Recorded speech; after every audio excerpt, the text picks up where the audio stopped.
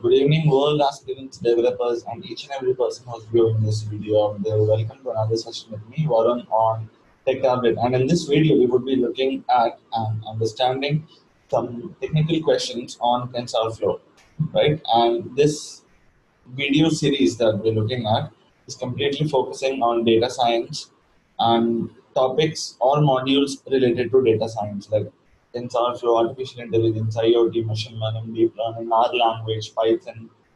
So, you know, we would be moving in and around all these languages or objects probably.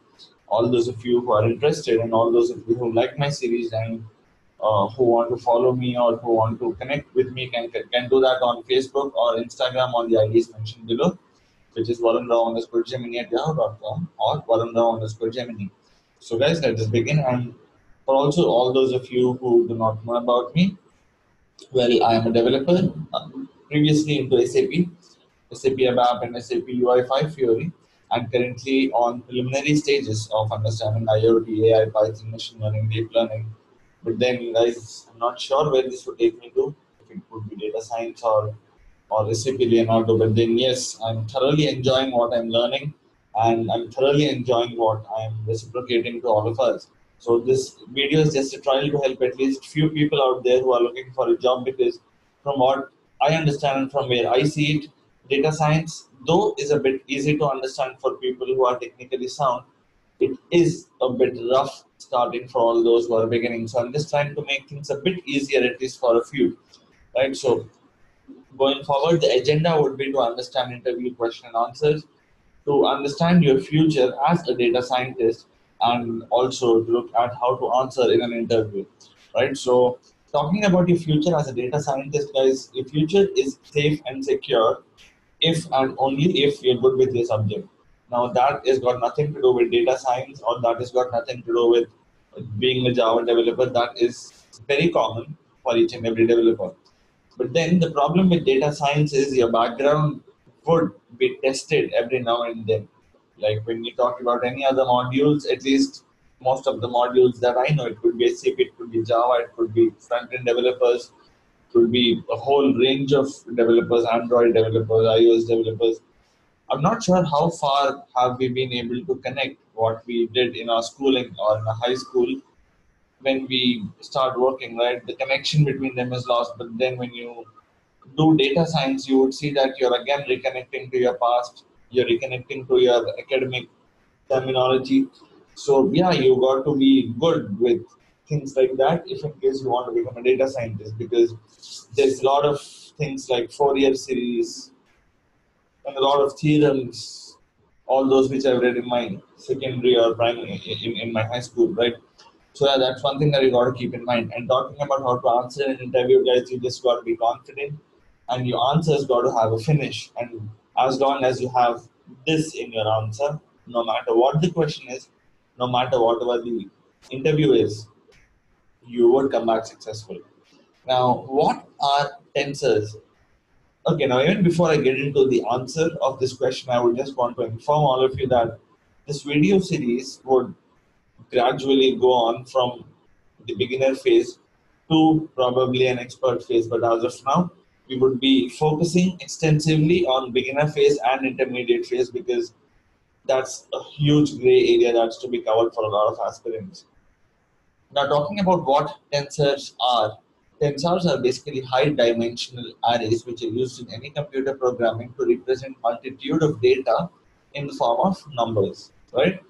Now these higher dimensional arrays which we're talking about, they can be from you know any number of arrays to any number of arrays and they are all available on internet like numpy which is a library used in python.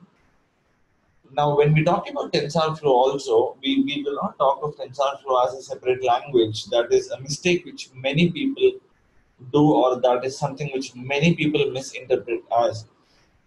Tensorflow is basically a part of python wherein you use different languages you use different libraries, I'm sorry, it's not languages, and you go ahead to form an automatically computed derivative. So this is what is the work of TensorFlow. Now, when you talk about TensorFlow here, you have something called as servables.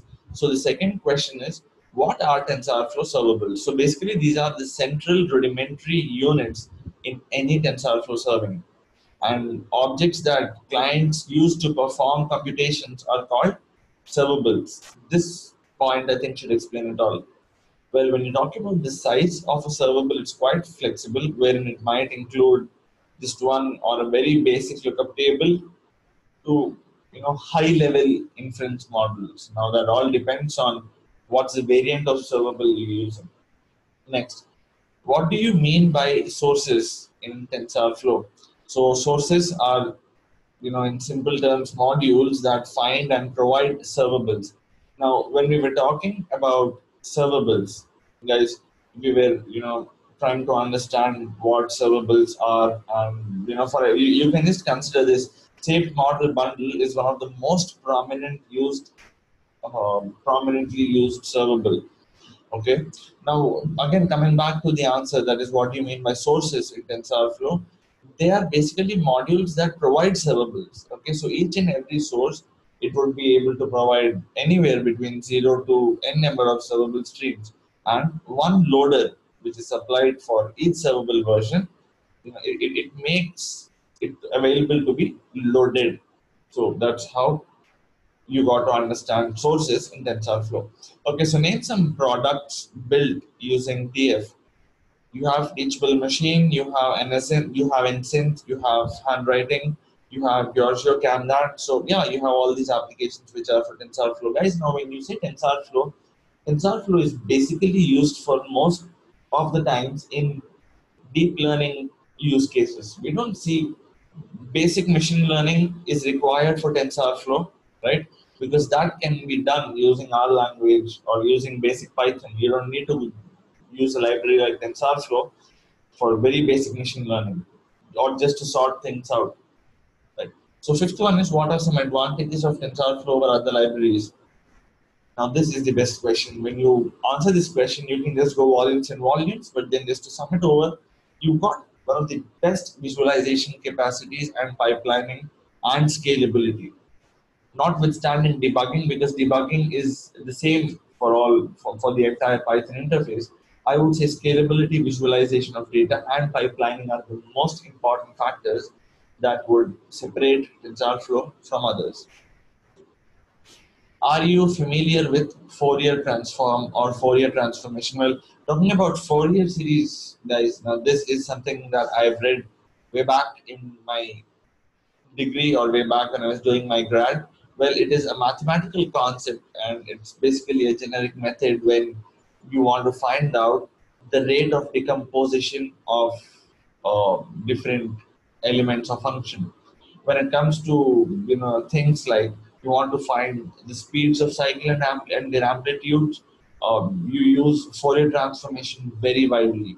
And it's also used for solving some very complex mathematical problems, notwithstanding you know time lapse or just decompositional sets you can do much more with Fourier transformation so in, in one of the videos in one of the upcoming videos guys we would be taking a look at all these variants like Fourier's transformation Naive-Bayes theorem and understanding the different theorems and uh, formulae we have and how are they related to data science I would be making another video wherein in each video we would be covering just one or two theorems at max and we will be looking at them in detail. For example, as I just said, Fourier transformation series and also Naive-Bayes, um, etc. We would have a lot to look at.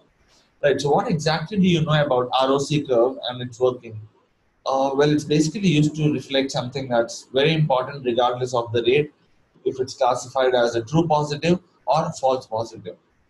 And what's so, so why do we use it? It basically represents all the information in the form of a graph. And it can also be used as a proxy for trade-off operations which are related to different algorithms. So this is the information that's related to ROC curve. So we'll go forward to the next one, which is list a few advantages and disadvantages of using TensorFlow. Well, we'll talk about the disadvantages first. It has GPU memory conflicts with Theano if imported in the same scope, right? The second one is no support for OpenCL, and the third one is you would be requiring good advanced calculus and linear algebra along with good understanding of machine learning if in case you want to survive in TensorFlow. And talking about advantages, it's got good platform flexibility and it's very easily trainable on CPU as well as GPU for distributed computing and as long as Theano is not involved. Uh, it also has auto differentiation capabilities, which is one of the biggest reasons why we use this. It is also customizable and open source, and it has advanced support for threads, asynchronous computations, and also queues. But notwithstanding all these guys, it has auto differentiation capabilities, which is one of the most important features of TensorFlow. What is deep speech? Uh, this is an application which is developed by Mozilla, which uses TensorFlow implementation. And where did they get this from? We have deep speech bought, bought up by Mozilla, which is inspired from Baidu's deep speech architecture. We'll talk about Baidu's deep speech in one of the upcoming videos. What are the different dashboards that are available in TensorFlow? You have you know, different variants, like seven to eight, and they are histogram, text, distribution, image, audio, graph, and embedding. Right? you can talk about each of these for you know hours and hours together. All that you've got to do is prepare things perfectly. And the other thing is, guys, whenever you're, you're answering in an interview, always remember to answer to the point. Do not deviate from the point. Do not overly focus on the point. You just have to answer to the point and get the hell out of there. All that you want to do is clear your interview and come back with a successful smile on your face. That's what you want to do, right? So thanks a lot for watching. In the upcoming video, we will be looking at some more question and answers on TensorFlow, on R language, on Python, on machine learning, deep learning. We've got a lot yet to be covered in exchange between us guys.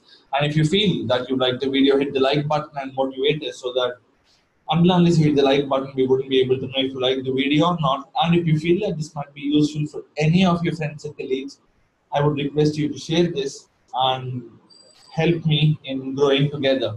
And also, if you feel that there's any query or if there's anything else that's missing or if there's anything else that you could probably add on to the point, please use the comment section below as it would be useful not only for me and you but also to each and everyone who's viewing this out there. Have a great day. This is me, Varun Rao, logging off, wishing you good luck and hoping that you will be coming out with terrific results after your interview. Have a great day.